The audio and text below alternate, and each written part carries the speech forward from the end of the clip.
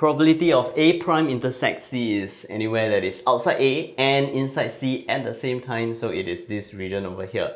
So looking at this region, I can also see that the probability of C is going to be made up of this region plus this shaded region. And this region here is the probability of A intersect C plus the probability of the shaded region which is A prime intersect C.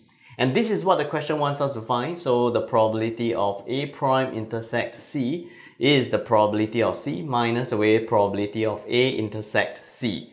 And probability of A intersect C is going to be probability of A multiplied by the probability of C because the question tells us that A and C are independent.